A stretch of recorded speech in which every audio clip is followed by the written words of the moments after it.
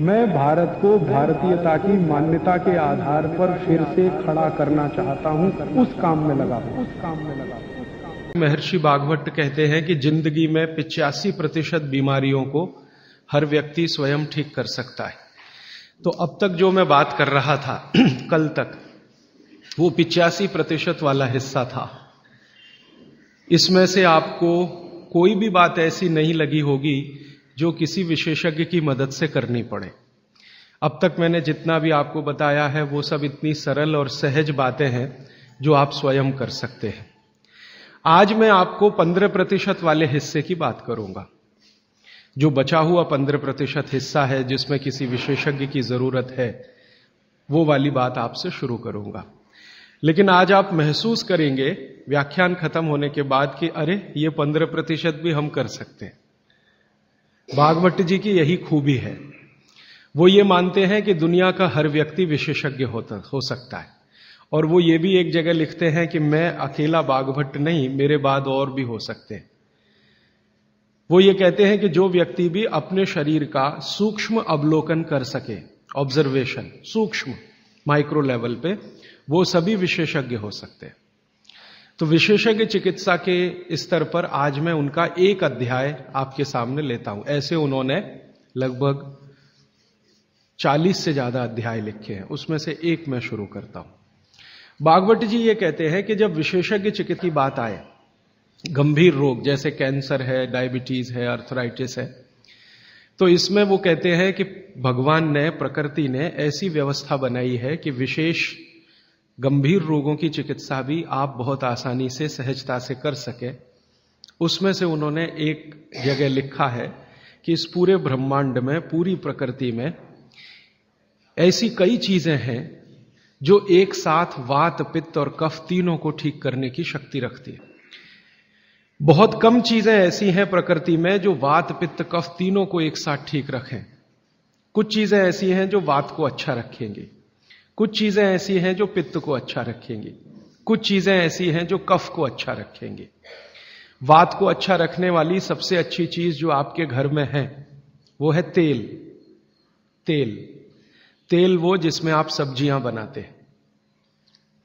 तेल वो जिसमें आप सब्ज़ियाँ बनाते हैं। तो सबसे अच्छी चीज़ वो बोलते हैं कि तेल है, जो वात को हमेशा समभाव में रखता है, समानता में रखता है। वात को बढ़ने नहीं देता। लेकिन उन्होंने एक शब्द पर ज़ोर दिया है कि तेल का माने शुद्ध तेल। अब ये शुद्ध तेल उन्होंने लिखा साढ़े तीन हज़ार साल पहले। आज के विश्लेषण में अगर हम ध्यान दें तो शुद्ध तेल का माने तेल की घानी से निकाला हुआ सीधा सीधा तेल। बिना कुछ मिलाए हुए सीधा सीधा तेल। कोई भी मशीन से निकाला हुआ सीधा सीधा तेल, उसमें कुछ नहीं मिलाया। मतलब नॉन रिफाइंड तेल। नॉन रिफाइंड तेल। अगर आप तेल खा रहे हैं तो बागभट्ट जी का निवेदन है कि आप तेल शुद्ध खाइए, माने रिफाइंड तेल मत खाइए। डबल रिफाइंड तेल मत खाइए। अब आप कहेंगे, जी, क्यों नहीं खाएँ? डॉक्टर तो यही बोलते हैं कि रिफाइंड खाओ डबल रिफाइंड खाओ तो आपको हृदय घात नहीं आएगा, वगैरह वगैरह। ये जो रिफाइंड तेल है, मैंने इनको देखा है कैसे रिफाइंड किया जाता है। आप भी देख लें, कभी मौका मिले तो बहुत अच्छा होगा। किसी भी तेल को रिफाइंड करने में छह से सात केमिकल इस्तेमाल होते हैं। और डबल रिफाइंड करने में बारह से तेरह केमिकल इस्तेमाल होते हैं। वो सब केमिकल मनुष्य के द्वारा बनाए गए हैं प्रयोगशाला में। भगवान का बनाया हुआ एक भी केमिकल तेल को रिफाइंड नहीं कर सकता। भगवान का बनाया हुआ माने प्रकृति का दिया हुआ, जिसको आप अंग्रेज़ी में कहते हैं ऑर्गेनिक। ऑर्गेनिक एक भी केमिकल नहीं है जो तेल को साफ़ कर सके। एक भी केमिकल दुनिया में नहीं। जितने भी केमिकल तेल को साफ़ करने के लिए उपयोग किए जाते हैं, वो सब इनऑर्गेनिक है। और इनऑर्गेनिक केमिकल ही दुनिया में जहर बनाते हैं। और उनका कॉम्बिनेशन जहर की तरफ़ ही लेके जाता है। आज की दुनिया में मॉडर्निज्म के नाम पर, आधुनिकता के नाम पर जितने इनऑर्गेनिक केमिकल्स जगह जगह इस्तेमाल हो रहे हैं, वो सब आपको धीरे धीरे उस तरफ़ ले जा रहे हैं। जहाँ आप जहर अपने ही शरीर में पैदा कर दें। इसलिए रिफाइंड तेल, डबल रिफाइंड तेल, गलती से भी मत खाइए।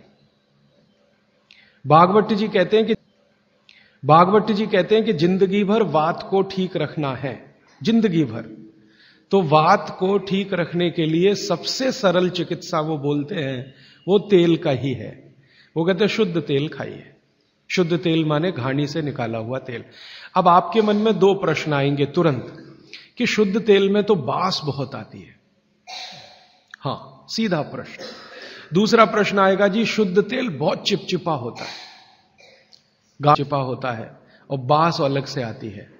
हम लोगों ने जब शुद्ध तेल पर भारत देश के कुछ वैज्ञानिकों की मदद से काम किया, एक तरह से कहें रिसर्च किया तो पता चला कि तेल का जो चिपचिपापन है, वो उसका सबसे महत्वपूर्ण घटक है। तेल में बहुत कुछ होता है। जैसे मैंने आपको पहले दिन बताया ना, मिट्टी में माइक्रो न्यूट्रिएंट्स है कैल्शियम है आयरन है सिलिकॉन है कोबल्ट है, ऐसे तेल में भी है। हर चीज़ में है। तो तेल का जो सबसे महत्वपूर्ण हिस्सा है, वो उसका चिपचिपापन ही है। और जैसे ही तेल में से ये चिपचिपापन निकाला तो पता चला वो तेल ही नहीं बचा। तेल जिस चीज़ के लिए खाया जाता है, वो बचा ही नहीं। वो हिस्सा ही गायब हो गया। फिर हमने देखा कि तेल में जो बास आ रही है, बास, वो उसका प्रोटीन कंटेंट है। तेल में प्रोटीन बहुत है। जैसे आपने सुना है, दालों में प्रोटीन होता है।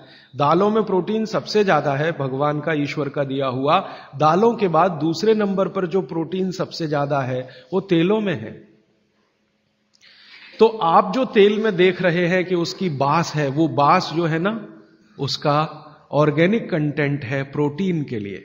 चार पाँच तरह के प्रोटीन है सभी तेलों में। आप जैसे ही तेल की बास निकालेंगे, उसका प्रोटीन वाला घटक गायब हो जाता है। अब बास निकाल दिया तो प्रोटीन निकल गया और चिपचिपापन निकाल दिया तो उसका जो फैटी एसिड है, वो गायब। अब ये दोनों ही चीज़ें गायब हो गई तो तेल नहीं रहा, वो पानी है। एक तरह से। इसलिए भागवत जी ने सूत्र लिखा कि ज़िंदगी भर वात की चिकित्सा अगर आपको करनी पड़ जाए तो बेहतर है कि आप शुद्ध तेल खाएँ तो वात की चिकित्सा ही ना करनी पड़े। और मैंने आपको सबसे पहले दिन बताया था कि दुनिया में सबसे ज़्यादा रोग वात के ही हैं। सबसे ज़्यादा रोग। ये घुटने दुखना से लेकर कमर दुखना, हड्डियों में दर्द, ये वात के तो रोग है ही। सबसे खतरनाक वात का रोग है हार्ट अटैक हृदय घात। सबसे खतरनाक बात का रोग है पैरालिसिस सबसे खतरनाक बात का रोग है ब्रेन का डैमेज हो जाना। तो ये खराब से खराब जो रोग आपकी ज़िंदगी में है, इनमें वात के खत्म हो जाने की या वात के पूरी तरह से बिगड़ जाने की भूमिका सबसे बड़ी है। दोस्तों, सबसे पहले तो चैनल सब्सक्राइब करें, फिर लाइक, कमेंट और शेयर करें। और हाँ हमारा एंड्रॉयड ऐप डाउनलोड करना ना भूलें।